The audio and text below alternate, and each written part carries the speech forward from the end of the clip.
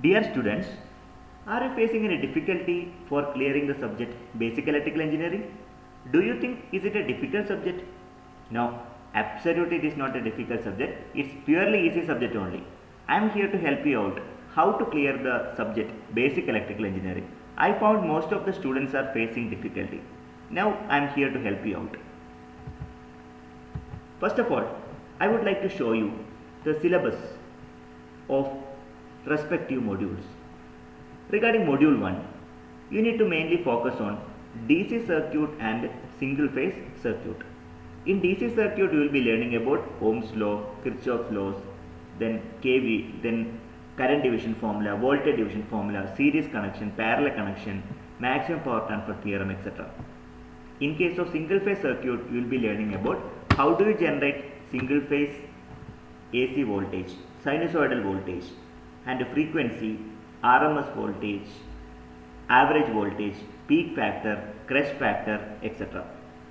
And also in module 2, few part of single phase circuit has been added. Analysis of RLC circuit, then real power, power factor, measurement of power, etc. And also the second part is mainly focusing on three phase circuit, how to generate three phase power, star and delta connection. Regarding module 3, it's basically two segments. One is DC machine, another one is transformer. In case of DC machine, there are two segments. One is DC generator, another one is DC motor. You will be learning about the fundamentals of DC generators and DC motors. In case of transformer, you will be studying the basic working principle, then EMF equation and the related topics. Regarding the fourth module, you will be learning about AC machine. The first segment comprises of three-phase induction motor, the concept of rotating field, operation, slip, etc. and also the construction and working of three-phase induction motor.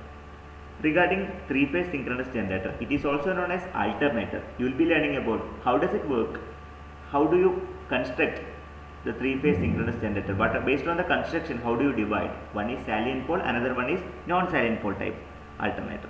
And also one of the popular EMF equations will be familiar in this segment. Regarding module 5, it is basically comprises of four segments. The first segment is basically power transmission and distribution. You will be learning about the single line diagram of uh, power generation, transmission and distribution. In the second segment, you are going to learn about uh, different type of power rating of appliances in your house and uh, two part tariff. What is tariff? Objective of tariff? What do you mean by two part tariff? And uh, regarding the third segment, you are learning about importance of fuse and MCB. So take care about the diagrams. And uh, regarding the fourth part, you are going to learn about uh, what are the different precautions to be made to get rid of, to avoid the shock.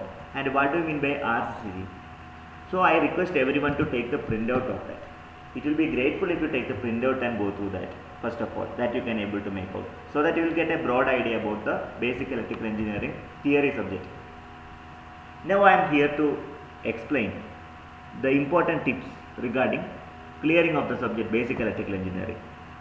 Uh, based on my experience, so I would I would I am strongly recommending you to study and answer fifth module first because all the segments are purely theory based and uh, there are few block diagrams if you concentrate almost done.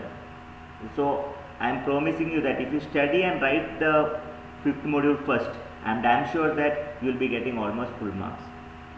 And uh, i request everyone to attempt all the questions and don't leave not even single question. Whether you are knowing or not that doesn't matter. Try to attempt all the question. And also putting the question number is also very important.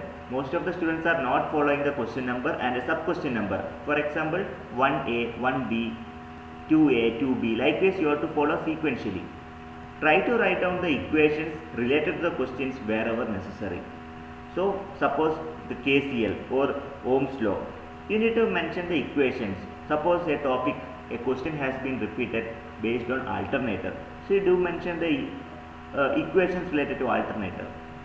Draw the related diagrams as much as possible. In the sense, suppose a question asked based on RLC series circuit, do mention the circuit diagram, do draw the circuit diagram and also possible draw the phasor diagram that gives more weightage for you. Because question they won't ask you to draw the circuit diagram or space phasor diagram but you are supposed to draw voluntarily. You should know. Do underline the important technical terms. Wherever you are using technical term do underline and try to highlight the points so that it is very easy for the evaluator to give the marks. Otherwise your points will not be noticed by the examiner. That's another fact. Once you complete the answering some half an hour maximum 20 minutes can be dedicated for reviewing your answer. Sometimes diagram may not be drawn properly. You you could not able to mention some terms. You could not able to mention the rating of the equipments. Do mention it correctly. Take 15 to 20 minutes for that. Make sure that you have spent 3 hours in the exam itself. So these are the basic observation which i can give for basic electrical engineering subject. It's not only for basic electrical but all the exams. These are the basic tips in module 1 in my opinion don't leave the following topics. Ohm's law is must. Anyway you are learning in pu classes pu or plus 2 classes. Kvl and kcl problem or theory can be expected. Maximum power transfer theorem if you are facing difficulty in derivation at least study the statement and theory part properly. And you need to know the definition of RMS and you need to know the de uh, derivation of RMS value. Average value also you should know. If you know the RMS value and average value, you can calculate the form factor. It is a ratio of RMS value to the average value. And the peak factor also can be computed. Maximum value to the RMS value. So don't leave these topics. It is must. Regarding second module, you need to learn about three important definitions of power factor and also power triangle basics like you need to know the real power, reactive power, apparent power. If you study this, it will be helpful for basic electrical engineering laboratory also. And you need to know the fundamentals of RLC circuit and how to solve the numerical example. If you do not know the numerical example, at least study the and present the equations properly. At least they may give some credit for you. Another unavoidable topic, star and delta connection. Very, very essential. Please don't leave. You need to uh, prove you need to give the proof of relation between line quantities and phase quantities of star and delta connection. For that purpose, phasor diagram is mandatory. Simple circuit diagram is must. And finally, for example, star connection. Line voltage is equal to root 3 times phase voltage. Line current is equal to phase current. That particular derivation, by using the parallelogram law of vector addition, you have to prove it very clearly. At least practice once or twice. Two wattmeter method is also very essential. If you study this, the advantage is the particular topic will be asked for your basic electrical laboratory also. So that is why I specially recommend for two wattmeter method in this particular topic. Regarding module 3, you need to study the construction of uh, a DC generator. Equation of DC generator is mandatory importance of back EMF in DC motor. They will ask the significance of back EMF. So with the help of diagram you have to explain. Torque equation that is must. Don't leave this. And EMF equation of transformer you may expect some problem, numerical example. And if possible, if time permits, study the condition of maximum efficiency of transformer. At least do mention that copper loss will be equal to core loss. And uh, that particular equation also you can mention, at least. And regarding module 4, the following topics are most important. The slip of three-phase induction motor. What is slip? Definition of slip and that particular equation. If you know that, you can easily solve the numerical example construction and working of three-phase induction motor. Construction, based on the construction, you can divide uh, squirrel cage induction motor and slip ring induction motor. Please don't leave that. Regarding the AC generator, you need to uh, compare salient pole type and non-salient pole type alternator. Definitely this kind of questions can be expected. And EMF equation of alternator. Possible study the derivation. Okay. Worst case you can remember the equation.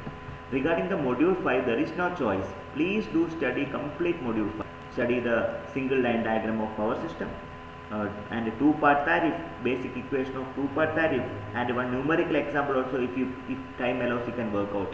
It's a circuit breaker with a neat diagram. And types of earthing.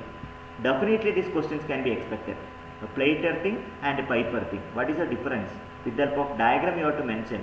Do mention the dimension also then residual current circuit breaker RCCB. So don't leave this topic and try to answer this particular part first. I wish all the very best for everyone for the examination. Uh, crack it definitely you will be getting a uh, uh certain good